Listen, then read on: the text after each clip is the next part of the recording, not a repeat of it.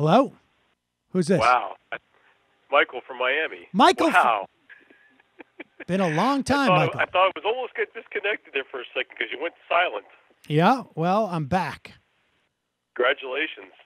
Well, welcome. Well, greetings from the belly of the beast. Yeah. Where uh, coronavirus lives and uh, polls are going on. Uh, okay, a couple quick things. Number one, it's not going to make any difference if there is a depressed voter turnout, which I think there will be because of the virus. I, I think that uh, having been up on the, what they call the Treasure Coast this past weekend, uh, people were going on about their business pretty normally. Although the way things are going down here, every three days brings another cataclysmic shift, like it is with everybody else. But Right. we are especially feeling it. They're finally going to close the bars, the restaurants, takeout only. Uh, gyms are being closed. Hospitals are now setting up potential drive-by testing facilities, but they're still not going to be able to get it done for at least another month. They are able to go ahead and turn around the test at one specific hospital chain within a couple of hours because they have labs on site, but most of the other hospital chains down here don't have that kind of access, at least not yet. And of course, the big bugaboo is you can't get tested unless your personal physician says that you meet certain criteria. It's not like you just walk in there and go, "Hey, you know, fire me up here." It's not. It doesn't work that way. Because they don't have many So- tests. Well, they're getting better. Yes, you're right. They're they're horrifically behind, and we can spend. And I think you hit the nail on the head earlier in the show. I think you talked about the uh, the uh, privatization or the uh, attempt to monetize the tests, right? I You think that's got to be what it is. I mean, nobody, nobody Come on. has. Nobody, we idiots. We five? Of course, that's what they did. They looked at the WHO results. They realized they couldn't touch it because there's already essentially a, a printed brand. They couldn't. They couldn't expand on it. So they said, "No, nah, we'll get our own." And in doing so, they cost us a valuable six weeks, which we may never get back. Anyway, um, a lot of things are upside down here. Uh, otherwise, I've got two staff members having to stay home because when schools close, guess what happens to their child care? Right. it disappears. Those people have to stay home. So I've got to figure out a way as a small businessman to keep them on salary, keep them functioning, keep money and, and, and you know, somehow revenues in place so that I can continue to do business while at the same time serving my clients. And, you know, I'd be interested because I know you have other attorneys who are, who are, and I consider you a friend of the show. Okay, I, maybe I'm being presumptuous, but I do. I'm, uh, you consider me you a friend other of the show? I appreciate that. situ- Yeah, I, I think you have other people who are similarly situated. I think uh, the immigration attorney out of Washington State, right? Ronald He- Reagan, he- yes.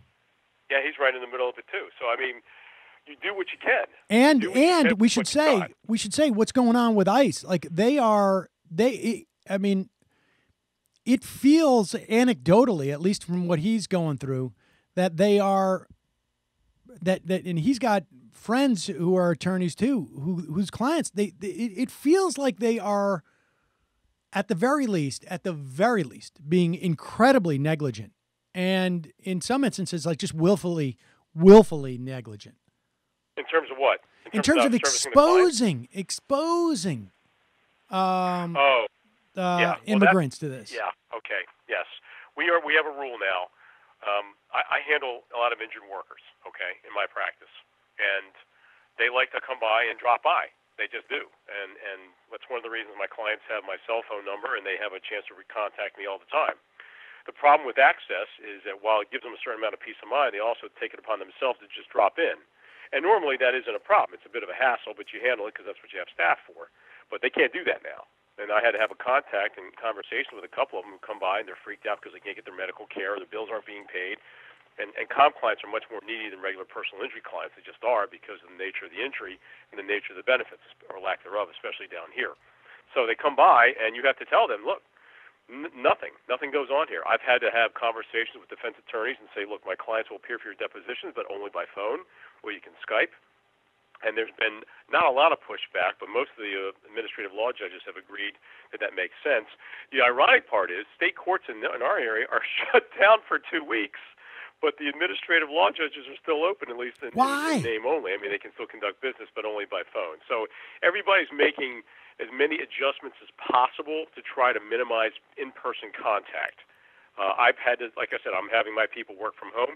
A lot of the insurance companies are work having their people work from home, as are the defense attorneys. It's it's a domino effect, Sam. Yeah. It literally is a domino effect that starts from the head and goes all the way to the tail.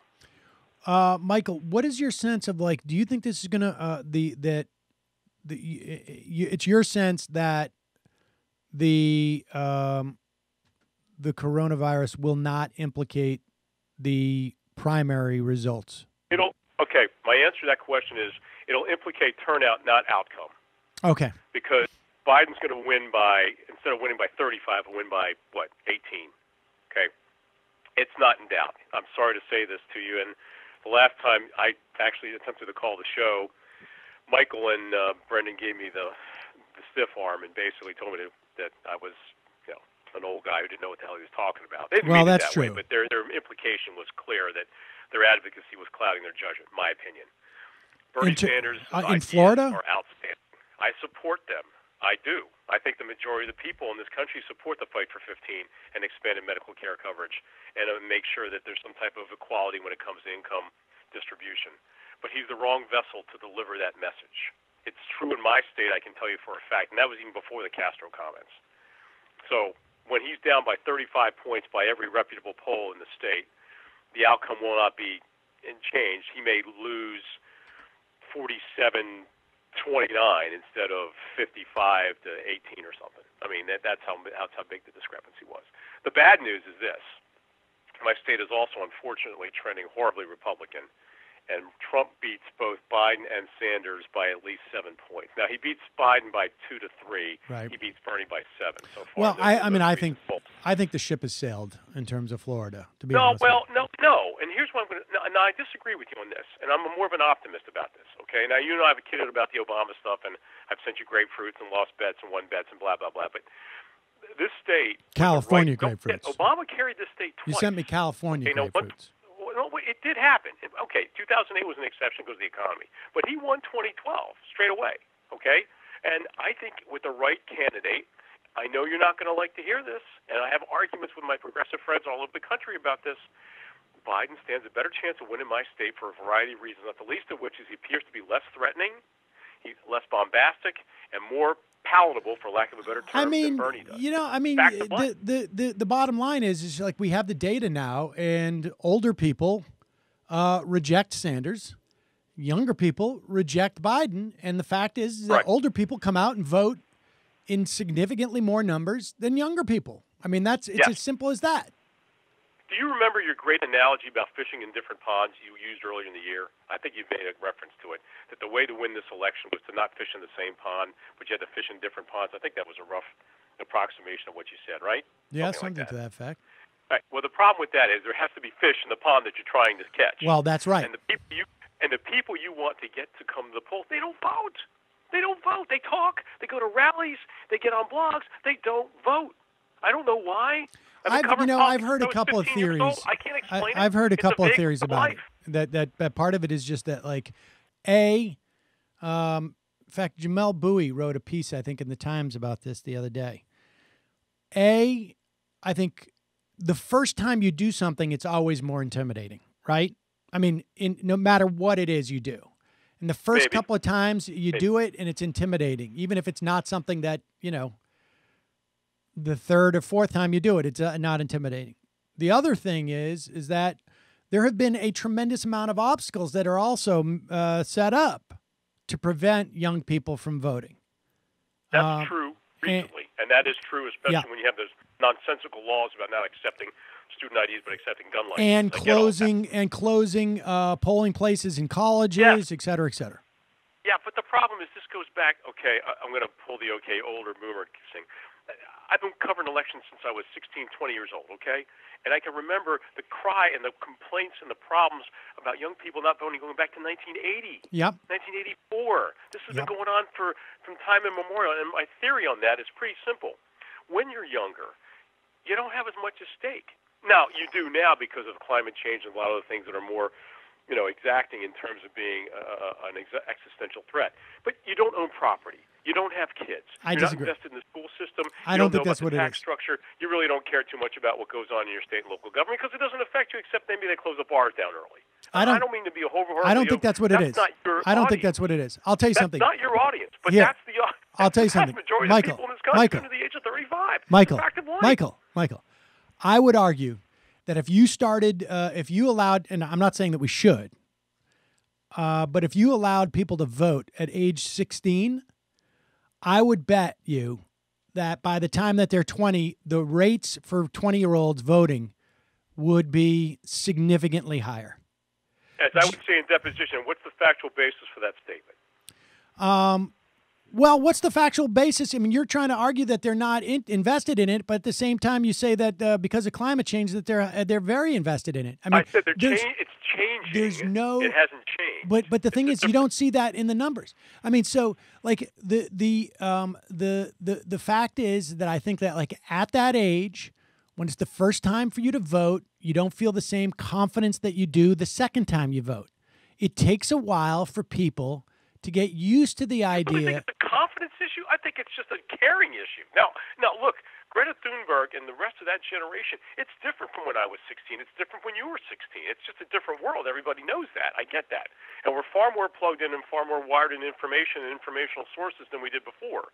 But the problem is, I don't see it still being a compelling reason for people to go to the polls. Well, if you I- I ask mean, an average 17 year old, 18 year old, hey, what do you want to do this Tuesday? It's either cruise the beach or go vote or canvass neighborhoods. I got news for you, and you know what the answer is going to be. Well, And that's not to say that you don't have a valid point. It's hard to change habits until you have something at stake. That's all I'm saying. Yeah, I'm not sure. I, I, I, I, I mean, I think there probably is something to that, but I also think it's a, it's a question of like, of, of making it easier for younger people to vote because as you get older, you just realize like, there's nothing that's that, you know, these type of things are just not that challenging, and you, you, you realize that like the, the, it's just not that hard to do. And you know it's it's both sides of the equation i guess is my point. And we could make it Hard to do or important to do? well There's a look but no there's a difference but but uh, but that's those are two different sides of the same you know of the same equation right? Like you're always making an assessment. What's the opportunity cost? What's you know how much of an effort do i have to you know uh, i'm going to climb this hill? Well i'm going to climb it because there's stuff at the top of the hill i want and uh, and I, I I weigh that against of like it's not a very steep climb, and if it's like not a steep climb at all, then what I'm climbing for doesn't have to be so great. You know what I mean? Like there's it's on both ends of the uh, the, the equation. But let's That presumes I want to climb a hill in the first place, but that's another argument. Listen, while I have you here, and since we haven't talked in a while, I got to ask you a couple quick things.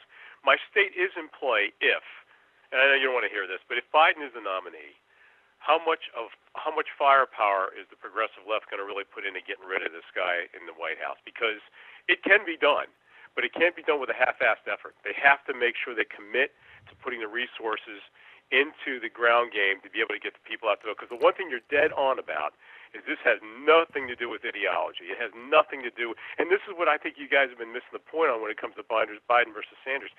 Your points in, a, in an intellectual debate are absolutely spot on, but they don't matter.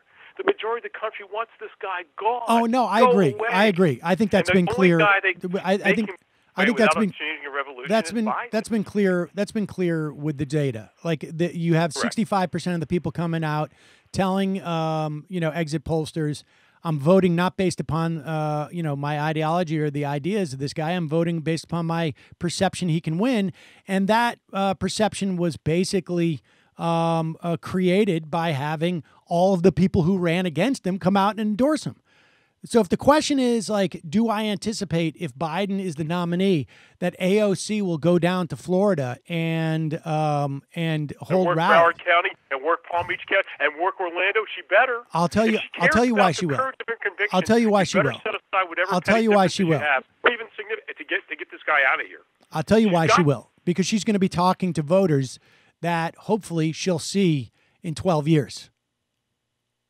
Okay, I understand that. But w- how about you? You yourself. You're a perfect example. You went door to door out in Worcester to go ahead and canvass on the Massachusetts primary. Okay, I wish you'd done it in Wisconsin because I think it'd been a little bit more illustrative for you. But okay, it's, it was a, it was a Well, good, I'm from you Worcester. know, good effort. Well, I'm, only because it's a swing state that's going to decide the election. That's all. But my point is, you know, are you going to put devote the resources of the show and just go four square into it, or are you still going to be a little pissed off that they turned around and said, "Hey, Bernie, no, sorry, we're not into your ideas," even though in your eye, in your eyes, Joe Biden's lost his fastball. By the way, in my eyes as well. I well, think so, everybody's too. eyes. But everybody's that eyes. doesn't matter anymore. Well, I know. I, I think with coronavirus, frankly, I think that um, I think that's been the the great equalizer. I mean, my sense of Biden's chance of winning three weeks ago is very different than it is today. Really? Oh, without really a doubt. so? Oh, without a doubt. I mean, look, No, we're going to have we're I going to think that whoever had a D behind their name was going to have an equal because the 2018 elections proved that. Get a D behind your name, and you have a puncher's chance. Better than that, of beating this guy. Well, because but but here's the thing. Here's the thing. But here's the thing. Biden this- here, Michael. Here's the thing. The Here, Michael, Michael. is so. I agree with you. It doesn't matter. I agree with Just you. Get him to the pool. I agree with you. Michael. against him. Do he people hear me on the phone?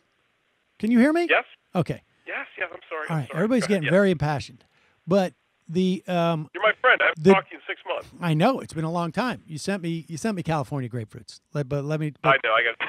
not Florida grapefruits. I was not looking for California. I was not looking for California grapefruits from the guy from Florida. But listen, but here's the point. You're talking about you you you you nailed it right on the head. A generic D is going to win.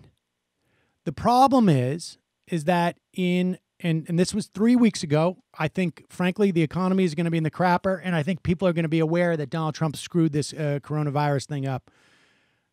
You know, there's a lot of other you know questions about the election, but I think that you know we're already starting to see this. I think he's going to have real problems. Like I think the you know they've already. Let me put it this way: they canceled the subpoenas for the Bidens Yeah, I saw that. two weeks ago. Okay, and But they you did. know why they did that, right? Uh, well, they were going to depose, they were going to depose Ivanka too. yeah, well, the House was ready to go with those subpoenas for Ivanka and and, and Don Jr. And I they think- were ready to go. And I think the other problem was, frankly, is that they this this became a problem. That there's no way to go down there. Like Donald Trump is going to get up there now and talk about uh, Burisma and this and that, and people are going to be like, "Excuse me." Uh, It doesn't matter. Listen, yeah, how many people- laugh at 'em. how many What you- people What, what is Burisma? need- Is that is that something you get at Starbucks? They're not going to care about. no, that no, no, no, no. Listen, The one thing he had, Michael, that was his how did Hillary Clinton lose? How did Hillary Clinton lose? You know damn well. Well, you know there's a couple reasons. That's not that's, that's a multi-texted answer, but I'll Right. give you the fast version. One, the Comey letter. Two, she got lazy and she's a lousy retail politician. And three, she had horrible advice.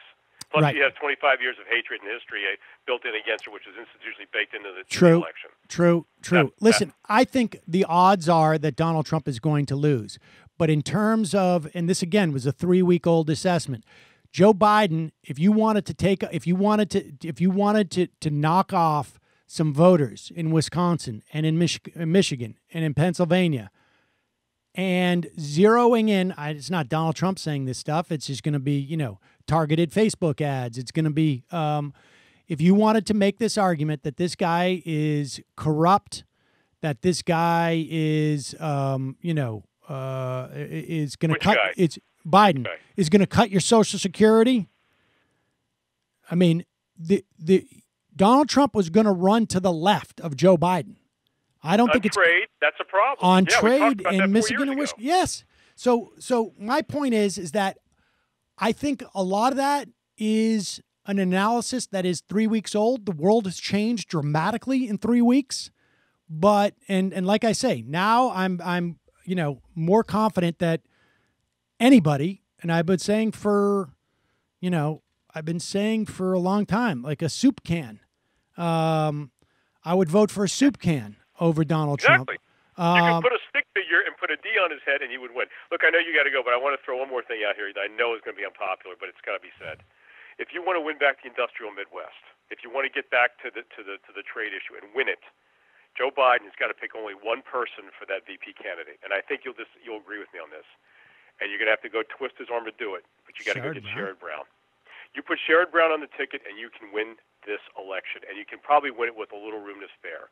If he goes with what that idiot Chuck Schumer wants to do and picks Kamala Harris or picks Del- Val Demings out of Orlando, who was on the impeachment manager Yeah. committee, or picks Stacey Abrams, this election is lost. well, wait a second. You that. just told me that Joe gone. Biden was going to win.